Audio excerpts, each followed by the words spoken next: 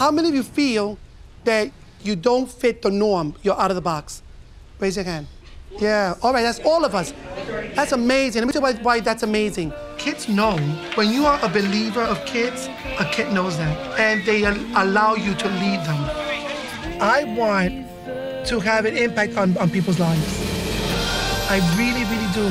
The passion for children, for teaching, for learning, he brings to every single conversation.